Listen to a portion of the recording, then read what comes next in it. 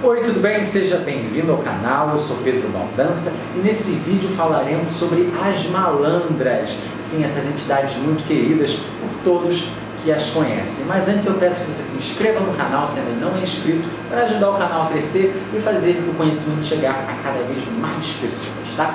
As malandras começaram a descer nos terreiros a partir dos anos 50 com o surgimento de uma entidade que ninguém conhecia até então, chamada Maria Navalha, muito famosa hoje em dia. Né? Ela incorporou numa jovem que estava há pouco tempo na religião, tinha características de malandro, ainda que com feminilidade, mas era encantadora, uma entidade diferente e que atraiu a curiosidade das pessoas da Umbanda na época.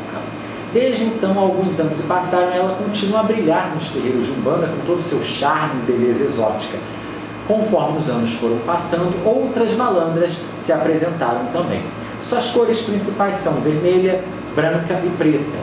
Uh, e alguns tons também, uh, umas variações de tom dentro dessas cores. Algumas podem usar cinza, por exemplo. Utilizam chapéus panamá ou mesmo cartolas, brancas, cinzas, vermelhas, com tiras destas cores. Podem usar calça ou saia suas flores são rosas vermelhas, rosas brancas, cravos vermelhos e brancos e também gostam de flor de chuvisco. Podem fumar diversos tipos de cigarro, de palha, de filtro vermelho, com sabor, entre outros. Cigarrilhas também, tá? E existem ainda algumas malandras que fumam charuto mesmo, tá? Podem beber cerveja branca, cerveja preta, não tem essa restrição, tá? Podem beber tanto a branca quanto a preta. Batidas, algumas tomam conhaque e raramente pinga ou uísque, tá? Só em alguma, realmente alguma exceção. Gostam de utilizar dados, navalha, punhal, baralho. Seus pontos de força, lapa, cabaré, morro, esquinas encruzilhada Cais do Porto, entre outros. São boas amigas, trabalham ajudando as pessoas a largar os vícios, drogas e o álcool.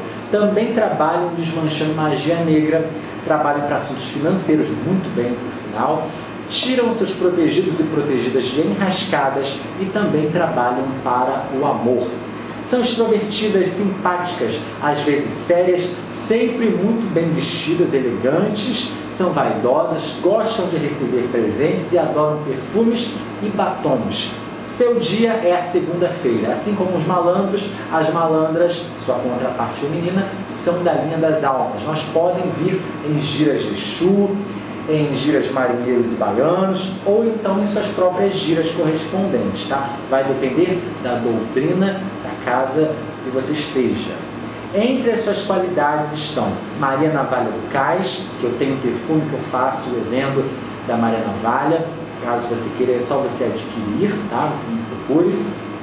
Então temos Maria Navalha do Cais, Malandra Sete Navalhas, Malandra das Sete Navalhadas, Malandra do Cabaré, Malandra Maria do Cais, Malandra dos Arcos da Lapa, Malandra do Morro, Malandra da Estrada, Laura Carteado, entre outras. Então, são entidades maravilhosas. Eu conheço uma malandra maravilhosa que é a Maria Navalha do Cais. Ela é muito boa no trabalho dela, me ajuda bastante, ajuda bastante os consulentes dela. E eu acredito muito na força das malandras, que elas, elas ajudam a gente quando a gente mais precisa, ali é uma energia muito próxima de nós.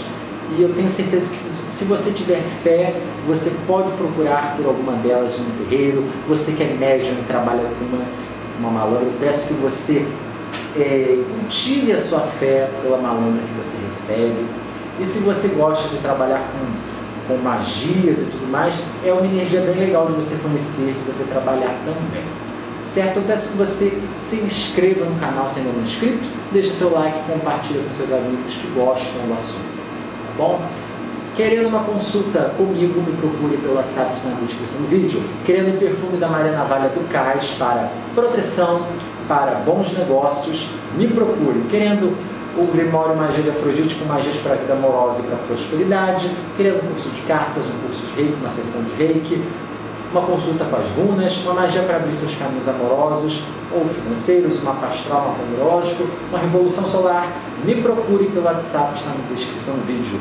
21979 06 42 48 atendimentos presenciais no Rio de Janeiro e à distância para o mundo inteiro. Um forte abraço para você e até a próxima.